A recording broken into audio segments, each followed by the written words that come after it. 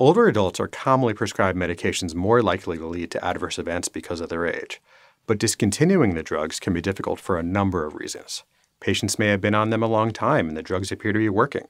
They may have been started by another provider, or because of limited time at each visit. An intervention initiated by another member of the healthcare team, the pharmacist, may help overcome this inertia. This week, JAMA is publishing a clinical trial, the D-Prescribe trial, that assesses the effectiveness of a pharmacist led intervention designed to reduce inappropriate prescribing. Deprescribing is reducing the dose of a necessary medication or discontinuing an unnecessary medication, particularly ones that have potential for harm. Researchers recruited 69 community pharmacies in Quebec into the trial.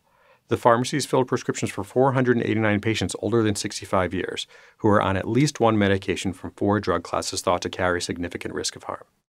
The four classes were sedative hypnotics, specifically benzodiazepines and the Z drugs, zolpidem and zopiclone, first generation antihistamines, glyburide, and selective NSAIDs.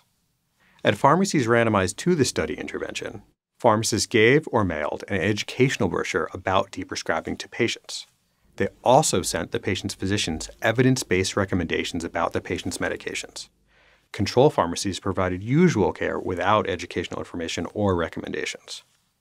The primary trial outcome was complete cessation of prescription fills for any of the four medication classes six months after randomization, sustained for at least three months, and without substitution of another inappropriate drug. Let's review the results. Participants had a mean age of 75 years. 34% were men, 66% were women.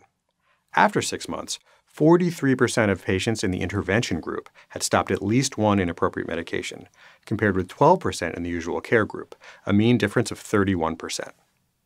Sedative hypnotics accounted for most of the difference, but 38% of patients who attempted to taper a sedative hypnotic reported withdrawal symptoms. The authors conclude that their pharmacist led education intervention was more effective than usual pharmacy care and more effective than previous attempts to reduce inappropriate prescribing through pharmacist physician communication alone or through software alerts. They also point out that generalizability of the results outside the Canadian system requires further research. An accompanying editorial provides context for the trial findings emphasizing that involvement of both patients and physicians may have made it more likely that the inertia that commonly thwarts deprescribing in older adults was overcome. Look for a link to the original investigation in the description.